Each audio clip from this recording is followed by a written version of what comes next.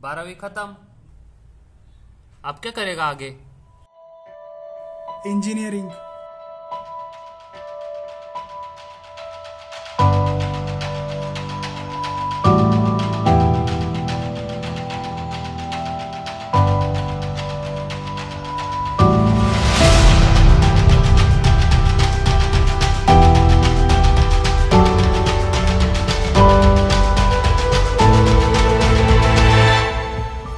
मेरी ज़िंदगी हर दूसरे मैकेनिकल इंजीनियर की तरह गुजर रही थी।